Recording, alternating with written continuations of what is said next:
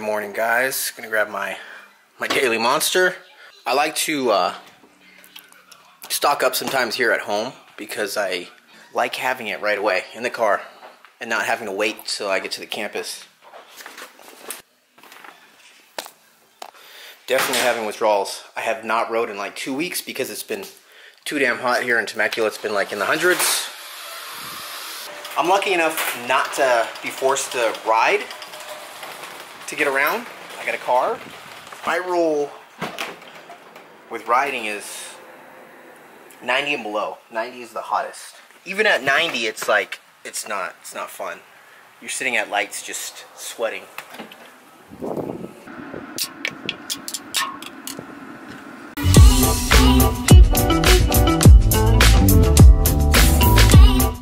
Project Home Improvement, gym improvement just went down. Small little tweak. I was contemplating getting a incline bench, but just due to space and just keeping it not cluttered here at the campus, I decided not to get an incline bench because what I did was I unbolted this incline or adjustable bench so we can move it over here in the squat rack. So the, the, the gym improvement was pulling up the, they were bolted down. I had to pull out the bolts. What I did was hammer them into the cement, break the cement a little bit, and then we uh, kind of hammered it out also, shook it out. So originally I wanted all these benches bolted down. So there's order in the gym. Because if we have guests, you know, people that, that just come through and just move them around, it would just be out of place. And it would look out of order. Decided we need an incline bench. The option, so these two are bolted down. These two are still bolted down, so those are always gonna be there. These kind of move around. Sweating, lost about 20 ounces of water in here, just hammering. So we're gonna hit this push workout. We're probably gonna start off with bench and then do some incline bench. I'm excited. I'm excited. See where I'm at Excited incline too. bench. I want at least two plates. Dang. I haven't touched incline bench in so long. How about you, Sal? At least at least two plates. At least, at least, at least. I'm gonna do uh, Warhead's watermelon. This is my favorite by far after trying everything. Black cherry is pretty good, but it's just not my cup of tea.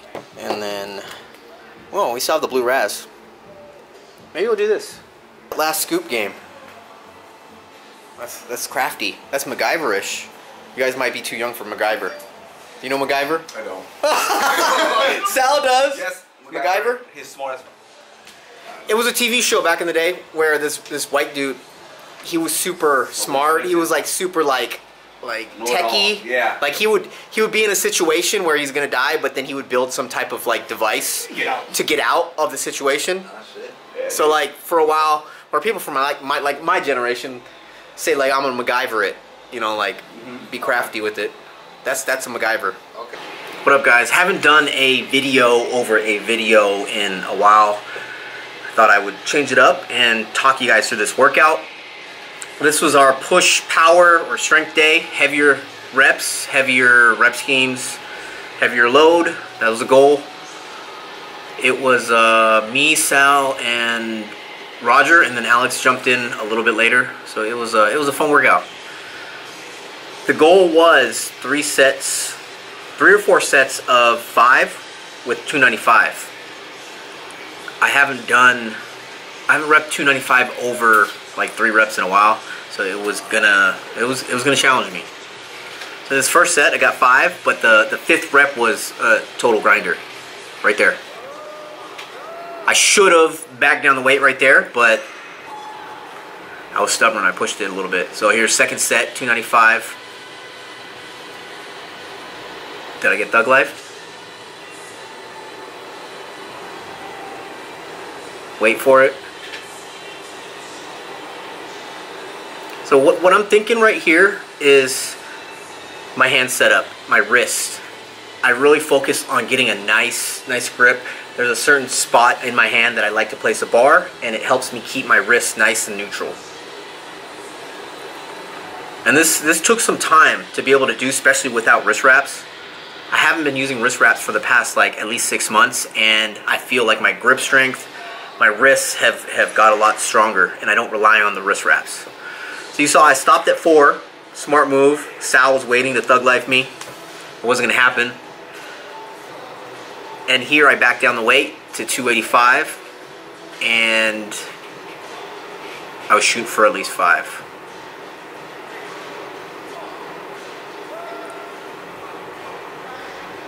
Rest time for for these sets was it was about four to five minutes. Took a good amount of rest. All right, so we moved on to incline bench, which I was really really excited to, to, to hit. I was I was curious to see where my strength was, and it surprisingly it, it was up there. It was up there, probably about the same when I was hitting incline bench consistently. Here's a here's 225 where I was just kind of testing testing my strength. The first couple reps kind of shocked me. The, the the range of motion, the stretch to my upper chest was it was it was something something foreign. But after the first set, my my chest started warming up to it. Mobility started getting better. So I added a 10 on each side, which made it 245. And it felt good. Goal was five five reps on on each set, and even with the increase to 245, I was still able to hit the five reps, which I was I was happy with. So over the weeks, my goal is to slowly increase the weight on the incline bench. We're probably going to hit it every push workout on our strength days and our hyper days. Hyper days just being more more volume, more higher rep range. With this movement, I've always liked to focus on the eccentric, the negative, slowing it down, controlling it. And I think a lot of that focus has led to more more efficient, more consistent strength gains. There's the last set. Decided to drop it down to 225 and kind of do an AMRAP. I think I got eight. You guys can count again.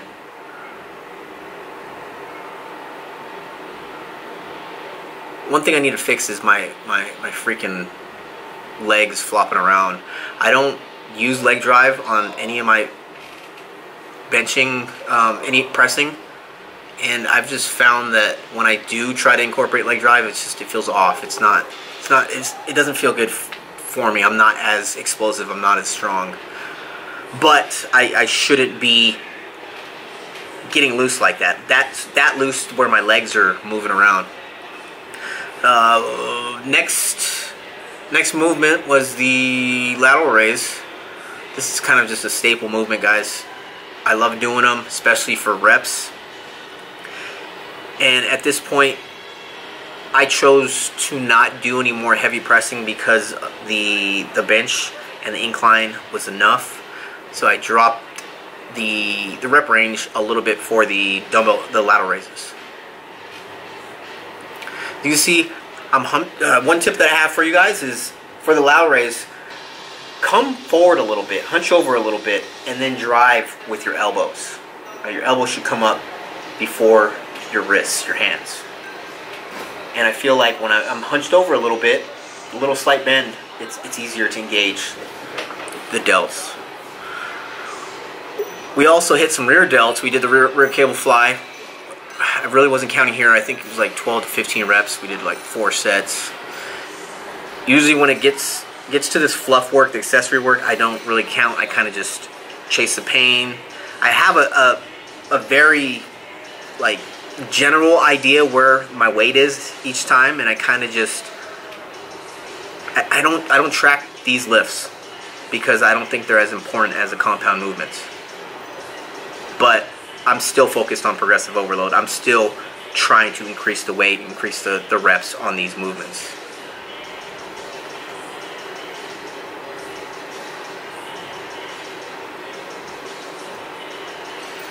And then we ended the workout with, uh, we did two tricep movements. We did just the, the, the rope um, extension, and then we did overhead rope extension, which I've been liking a lot due to the, the, the nice stretch that you get at the top. So with, with, with the tricep extension, you always you want to control it. You don't want any swinging. You don't want to be utilizing any momentum. You want to feel it in your tricep and nowhere else. Here's the overhead tricep extension that I was talking about. Nice stretch. I pause at with the stretch and then I go and squeeze and hold it.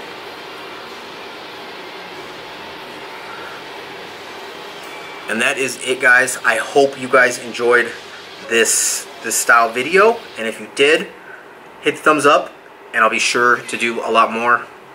I'll see you guys in the next one. Peace. You go, I go, you stay, I stay. One song you sing.